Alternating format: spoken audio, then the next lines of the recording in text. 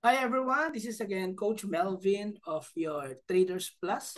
And for today's topic, we will talk about proprietary firm trading o yung tinatag na prop trading. No? So ano ba yung mga prop firms o yung prop trading?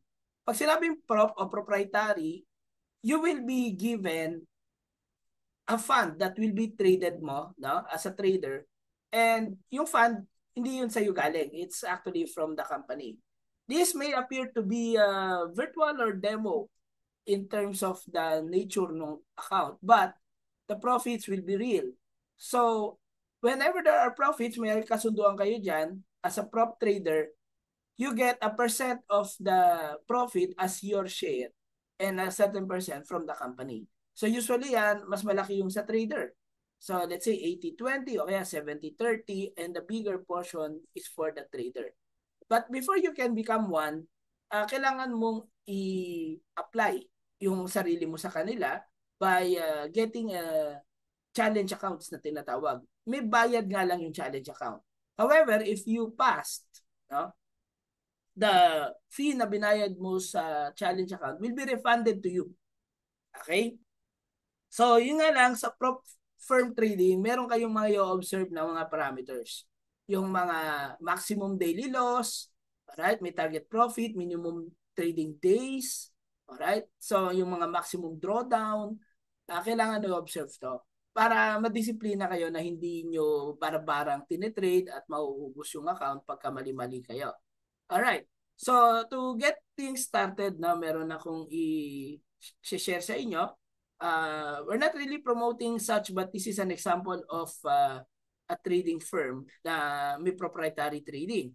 And this is FTMO. All right. So, meron ditong demo so you can actually test yourself kung kakayanin mo. All right. So, you just go for uh, FTMO website. Okay. And then go to the client area and log in. Okay. So log in using your email. All right.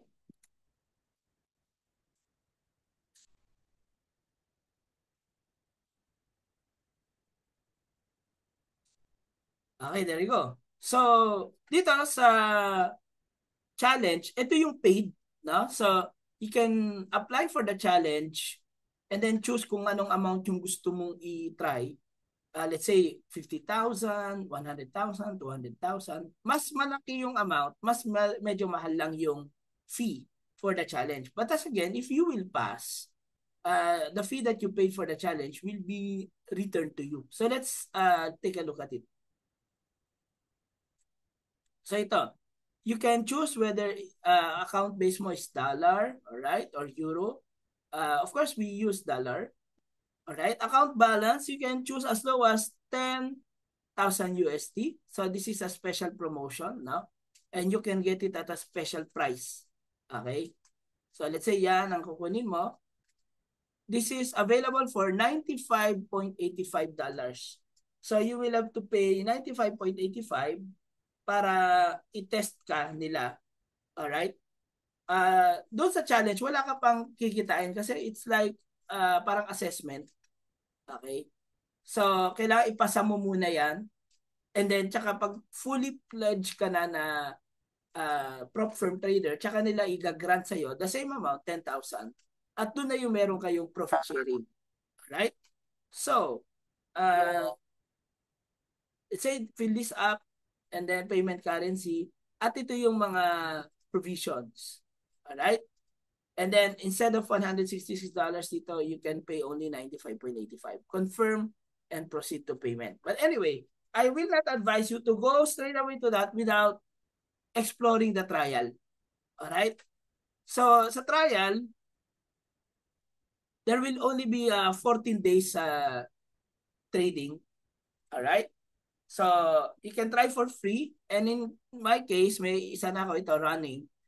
So ito yung metrics ko. At ito yung dapat ninyong i-meet. Okay, so let's take a look at the metrics. So kahapon ko lang to sinimulan. Alright? So, ito na yung takbo niya. Okay?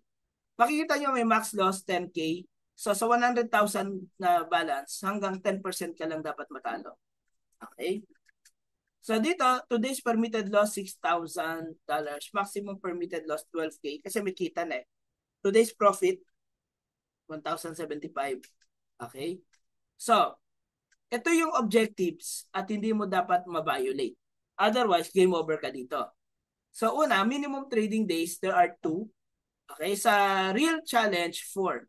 Meaning, hindi pwedeng isang beses ka lang nag-trade, papasa ka na. No. Alright? Consistency is the key kasi. Uh, kung ikaw eh chumamba lang isang beses, tapos hindi mo na ulitin dahil takot ka na, you're not really a season trader. For you to be a season trader, kailangan medyo uh, matapang kang pumasok sa trade at any given condition. Okay? And you just know how to manage whether to cut loss or not. Alright, so dito sabi two trading days, eh kahapon tsaka ngayon, nag-trade na ako. So I passed. So maximum daily loss, hindi ko pa siya na-violate. My, ito ha, kahit float ha, float. Ibig sabihin ng float, open trade. Open trade cannot float $5,000 total. Alright, hindi lang isang posisyon ha, total. Okay? So the, the more trades you open can be, abutin mo yan agad, no? Pwede kumita ka kagad, pwede matalo ka kagad. But you want to be conservative. You do not want to reach this one right away. Alright? So, so parang maximum kong uh, float na loss is $424. Malayo-malayo sa bituka ng $5,000. Right? So, I passed. Pero ito, malalaman mo hanggang end of the 14 days. Sa challenge, parang 60 days. Uh, 30 days and then 60 days. Uh, parang phase 1 and then phase 2. Okay? So, you have to pass two phases. Okay, so total parang 3 months in the making ka daw. Right? Uh, but that's good enough because you know, uh, trading is not learned overnight. So kailangan talaga ng season.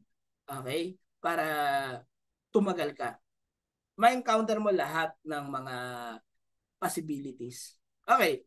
So, maximum loss, negative 10,000 overall ng account. Never ko siyang nakat because the maximum ko is $28. Okay? Profit target, 5,000.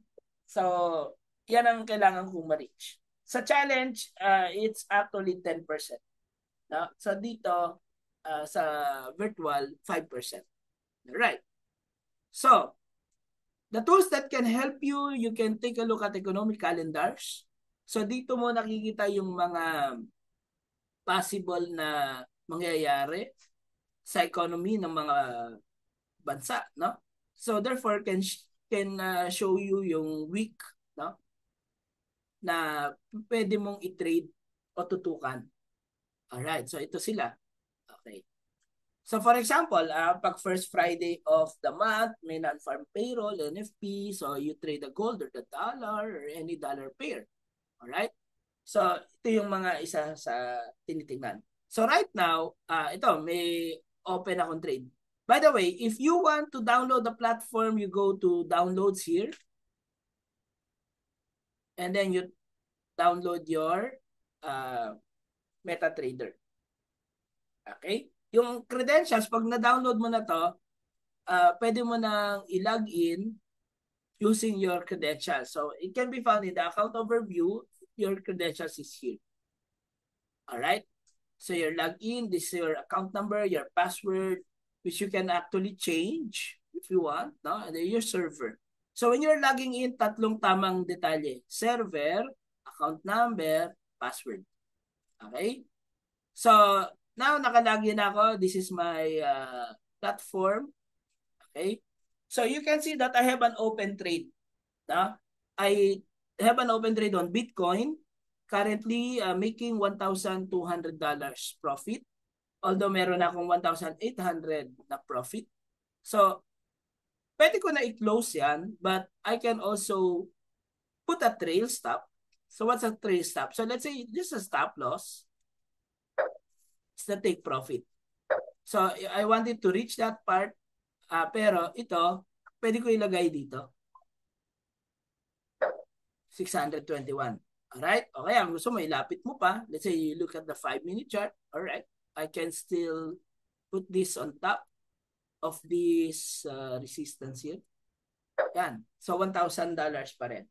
Alright? So, pwedeng uh, mahit yan, pero hindi yan loss. That's actually $1,000. Okay? So, papatong doon. Pero kung halimbawa, uh, nangangati na yung kamay mo, gusto mo nang i-take yung profit, total pwede ka naman pumasok ulit. I, I can do that because, uh, let's say, click ko na, 3,000 na yung profit. Eh, 5 lang yung target ko. So, I'm more than halfway of my target. Okay, so pag dito, ni check ko na yung metrics. Ayun, umangat na yung performance and then uh, hindi ko pa naman nahihit yung target kasi 5,000 nga. Pero 3,000 na of the 5,000 is already achieved. So pwede na ako medyo mag-slow down. Ibig sabihin mag-slow down, kung one lot ng one lot kanina, pwede ko na litan. Di ba? Para hindi ako uh, mat- matakot o mataranta. So, since you have $100,000 uh, dollars, kung yan yung balance nyo, eh, you can comfortably trade the one lot.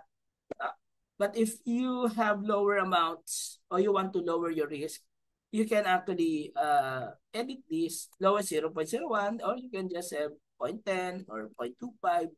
Okay? So you can edit that. And you can trade any instrument, whether it's a Bitcoin or gold. Let's say you want gold. Where do you think gold is going? Ah? You can also do hedging. Ah. Hedging, uh, ito, yung 0.01 ko lang. For example, I'm going to open a buy position. But uh, I also want to take the sell position. Pwede yun sa buy. Ayan, ha? Sa buy. So, meron kang uh, buy and sell on the same instrument. Alright? Tapos, let's say, yung buy trade mo, okay, lagyan mo ng take profit. Pag umangat doon, matitake profit. Yung sell trade mo, lagyan mo rin ng take profit. Kapag bumaba doon, magpo-profit ka. Okay? Then you may decide to cut the loss. So either win on one, lose on the other, or uh, lose on one, win on the other, or pwedeng win both yan. Pero pag na di ka nakatis, kinat mo pareho, pwedeng loss both. Alright? But okay lang, magkano lang naman yan. Kung ilolos mo man yan, uh, that is only a very small portion versus your winnings. Okay? Kasi niliitan ko lang naman yung lot size just because I only use this for illustration. Alright, so this will be our scope ng today's video about proprietary firm trading. Okay? So, on next topic, see you soon. Thank you and goodbye.